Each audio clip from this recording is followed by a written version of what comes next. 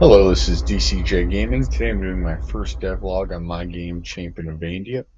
I've been working on this game for about two years. Just want to give a quick overview of what the game looks like, some of the features.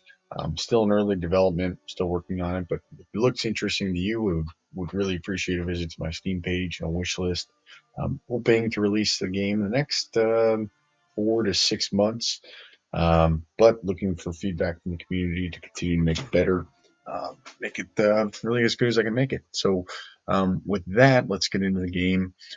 We'll start first with the champion creator. So game is set in a medieval fantasy setting. Um, this whole continent here is called Andia.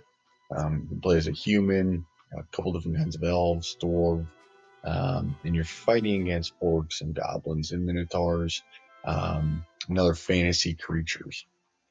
Uh, so we'll start first here, as I mentioned, plays a human, wood elf, high elf, dark elf, uh, dwarf, and every race has different starting stats, um, levels, attributes. Um, that's what I call them: strength, athletics, intelligence. Um, I think we'll just play. I will play as a dwarf. Um, different skin colors. Eventually, I'll be adding in uh, hair and beards and that kind of stuff, but uh, just kind of the bare bones right now.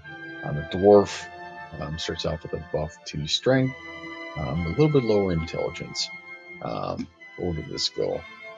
Uh, as you can see, lost all that cool armor I had. And you start off at the very bottom, so no gold, no experience, uh, and the worst armor, worst weapon in the game. Um, and as you go complete missions, you earn more gold, you earn XP, and you level up. Um, so this is the armory. Um, over 200 different assets between armor, helmets, weapons. Um, everything has different stats. Um, so a lot of variety, a lot of customization. Um, right now, the only thing we can afford are some different colored uh, worn clothes. Uh, I think we'll go with the, the red. I'll give that a go, but um, a lot of different things. Um, so yeah, some things to work towards. Um, this game is played fully cooperatively, single player. Um, you play some PvP. Um, playing co-op, you play with up three of your your friends. Um, but um, play completely single player, completely up to you. Um, as I mentioned, uh, you can earn experience, um, and experience you can put into one of three different attributes when you level up. So, strength, which is going to increase your HP, the weapon damage, um, go into athletics to improve your stamina, stamina regen, um, how quickly you attack, um, your critical hit chance, and then your movement speed. And then intelligence um, will increase your mana points, your mana regen. I'm gonna add in. Um, it's gonna do more, you know, do more damage with spells, um, that kind of stuff as well. Um, right now, I have five different spells. Either healing, you have a shield, which will block other spells and block other projectiles like arrows. Um, three kinds of magic. Uh, fire magic, which does damage and has a chance to burn. Uh, frost magic, which does damage to opponent's HP, but also their stamina. So stamina drain um, can freeze an opponent, so slow them down for a duration.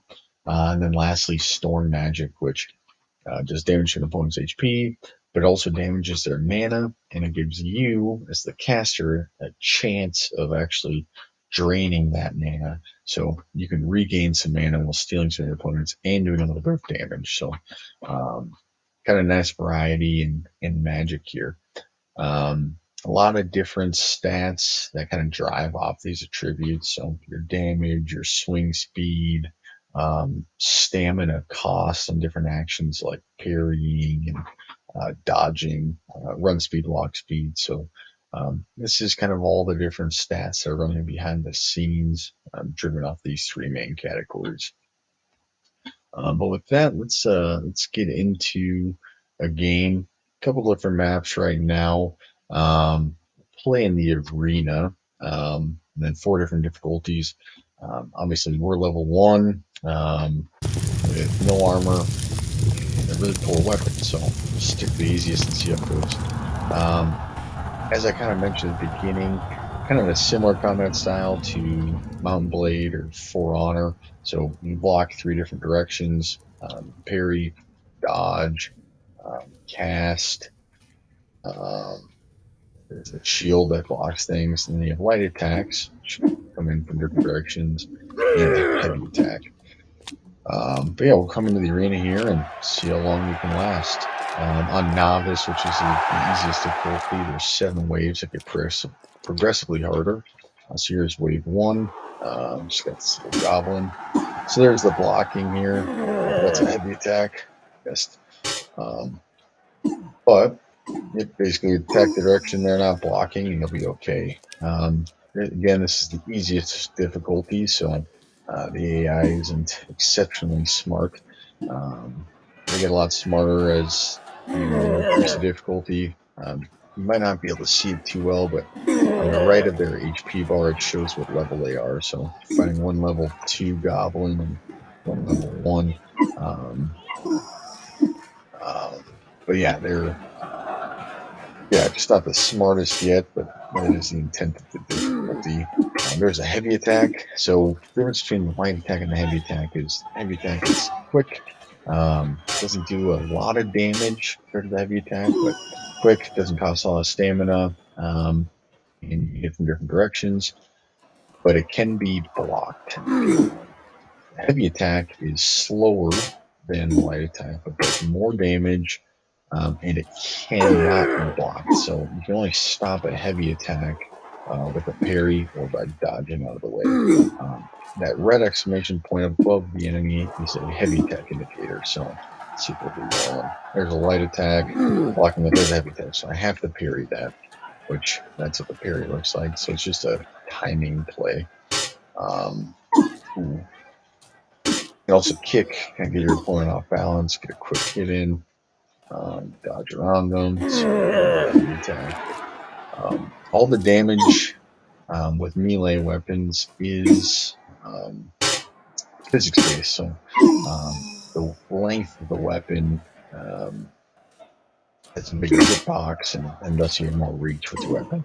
Right now, as the default, you just have a short sword, so not a lot of length, not a lot of reach, getting pretty close. And, uh, that can get pretty pretty challenging in some of the multi fights. We're trying to avoid getting mobbed.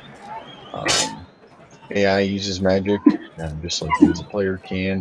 Um, so use the shield. Um, really, in fighting these multi fights, it's try to create one-on-one opportunities um, and in, get out, um, try to avoid uh, really kind of getting surrounded pretty Oh, and they double teamed me their Spell, and then the Dark Elves are coming. But earned a little bit of gold and some XP. Um, come back to the main menu and I'll kind of demonstrate buying something and call it a wrap.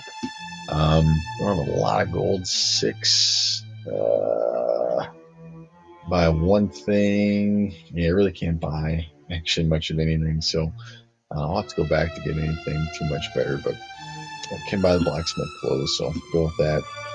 Get uh, nothing, uh, completely uh, cosmetic, but at least we accomplished something. But yeah, that's the quick overview of Champion of Andia. Hope you enjoyed it. Appreciate the, the view. Um, really appreciate a like and subscribe. We're doing more um, game dev uh, diary updates, um, showing off more of the game, deep diving into more of the maps. Um, and if you're an indie developer and have any questions on, on Unreal 4, I'm going to do some tutorial series on this channel too, but I would be happy to cater to any specific requests. Um, thanks again, and have a great day.